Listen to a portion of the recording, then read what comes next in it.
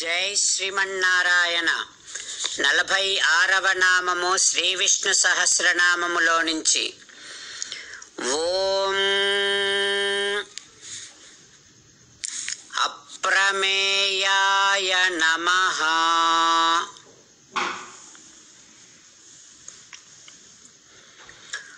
హో శ్రీమన్నారాయణ నీ ఆది కానీ నీ యొక్క అంతము కానీ నీ ప్రభావము కానీ నీ వైభవము కానీ నీ స్వరూపములు కానీ తెలుసుకునేటటువంటి సామర్థ్యము నాకే కాదు. చతుర్ముఖ బ్రహ్మాదులకి ఎవరికి కూడా ఏ దేవతలకి కూడా లేదు కదా తండ్రి శ్రీమన్నారాయణ. నిన్నే శరణాగతి చేస్తున్నాను. ఓం అప్రమేయాయ నమ. ఓం అప్రమేయాయ నమ.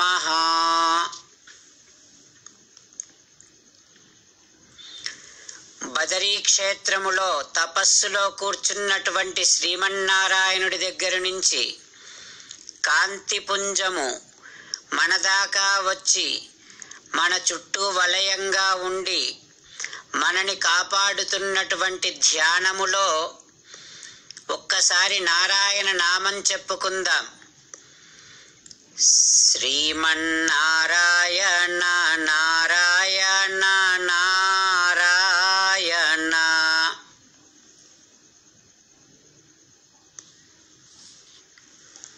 శ్రీరామాయణములో కపిల మహాముని హుంకారము చేస్తే సగరుడి అరవై వేల మంది పుత్రులు భస్మీభూతమైపోతారు. ఎంతసేపటికి ఎంత కాలమైనప్పటికీ తన కుమారులు అశ్వమేధ యాగానికి సంబంధించిన గుర్రాన్ని తీసుకొని వెనక్కి రాకపోవటం చేత సగరుడు తన మనుమడైనటువంటి అంశుమంతుణ్ణి పంపిస్తాడు.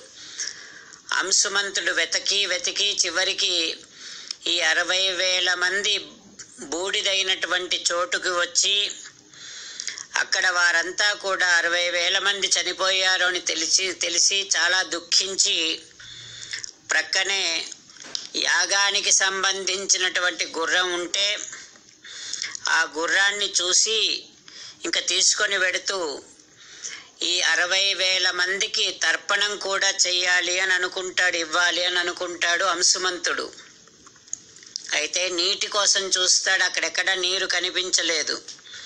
నీళ్ళు దొరకలేదు. గరుత్మంతుడు కనిపిస్తాడు.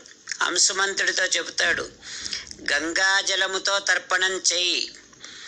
ఈ అరవై వేల మంది స్వర్గానికి వెడతారు అని గరుత్మంతుడు అంశుమంతునికి చెబుతాడు.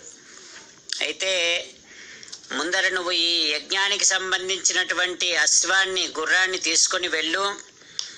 యజ్ఞమంతా పూర్తి చేయించి ఆ తర్వాత గంగాజలముతో వీరికి తర్పణము వదులు అని గరుత్మంతుడు చెప్పగానే అంశుమంతుడు యజ్ఞపు సంబంధించినటువంటి గుర్రాన్ని తీసుకొని వెళ్ళి సగరుడికి యజ్ఞ అశ్వాన్ని ఇచ్చి అంశుమంతుడు చెబుతాడు సగరుడితో అరవై వేల మంది చనిపోయినటువంటి విషయాన్ని.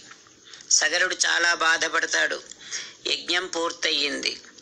యజ్ఞం పూర్తయినప్పటి నుంచి ఇంకా సగరుడు ఈ అరవై వేల మందికి తర్పణము వదలడానికి గంగా జలాన్ని భూమి మీదకి ఏ రకంగా తీసుకురావాలి అని ఆలోచన చేయటం మొదలుపెట్టాడు. అయితే అప్పటికే వయస్సు బాగా రావటం చేత సగరుడు దేహం చాలించి స్వర్గానికి వెళ్ళిపోయాడు. ఇంకా గంగాజలము గురించి ఆలోచిస్తూనే స్వర్గానికి వెళ్ళిపోయాడు సగరుడు. ఆ తర్వాత ఏం జరిగిందో రేపు తెలుసుకుందాం. ఇప్పటి వరకు జరిగినటువంటి కథని ఒకసారి స్మరిస్తూ మనతో పాటుగా రామాయణాన్ని వింటూ ఉండేటటువంటి హనుమని మనం దర్శనం చేస్తూ హనుమతో పాటుగా మనమంతా కలిసి రామచంద్రుణ్ణి ధ్యానం చేస్తూ శ్రీరామనామాన్ని చెప్పుకుందాం. శ్రీరామ శ్రీరామ శ్రీరామ శ్రీరామ.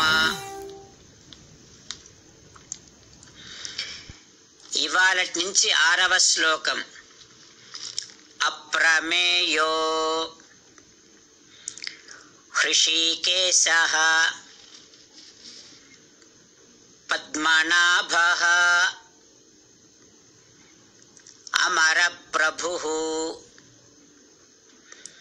विश्वकर्मा